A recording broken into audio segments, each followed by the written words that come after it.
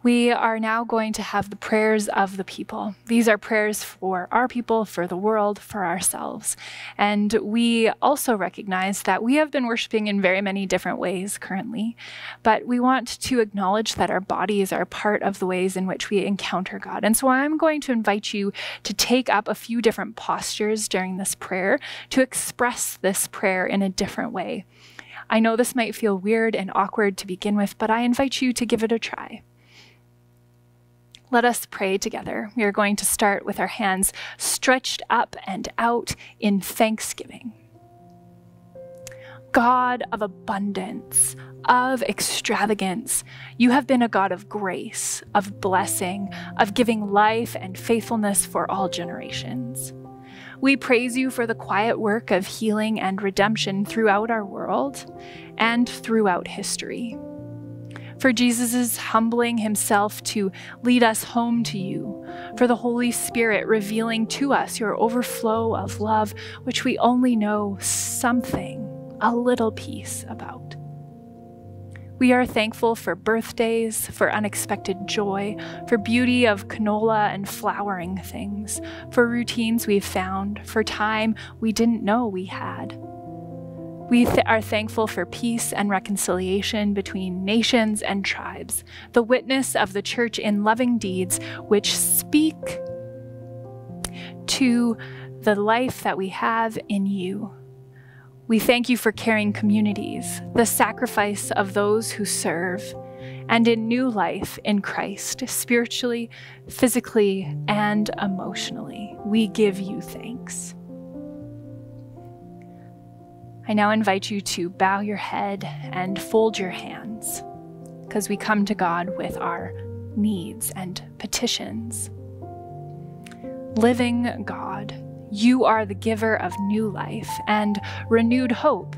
To you we bring our prayers for creation as it groans, continues to groan in bondage and decay for nations at war and people oppressed by their governments, for justice for the poor, for racial reconciliation, for employment, and for equality in education and housing.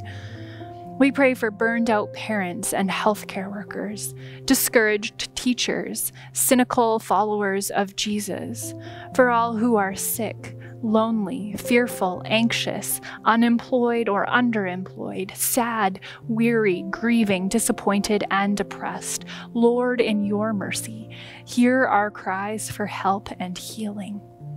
We give you thanks that beneath this tumult of our lives and within our own beaten hearts, we know that you, God, are with us and will be with us still.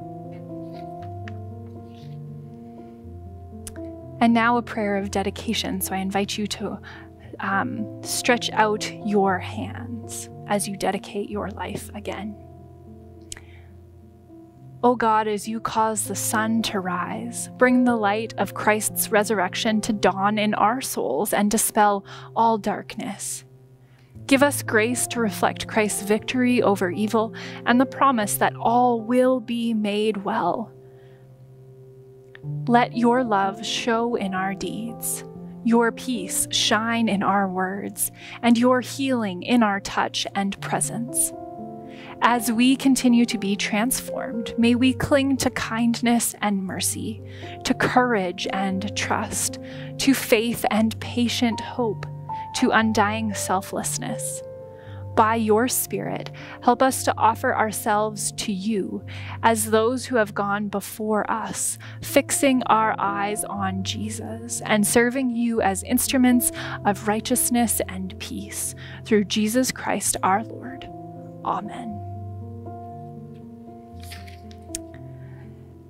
Even in our time apart, we have still been a giving community, one who gives of ourselves in time, but also in resources and money. And so we invite you to consider the ways which we can give of, of those things continuously or in new ways in our community and in our families and in our spaces of worship.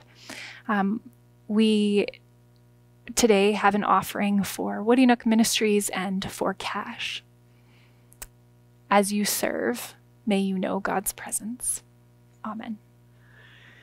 And so, as you go through whatever it is you go through today, tomorrow and the rest of this week as you join the celebration, getting a taste for what the good life really is, or as you simply walk through your daily slog and feel as though you just have to endure, may you go with His blessing. I invite you to raise out your hands to receive this blessing, maybe even to stand to recognize that God Himself is here giving you this blessing. May the Lord bless you and keep you. May the Lord make his face shine upon you and be gracious to you. May the Lord turn his face towards you and give you his peace. Amen.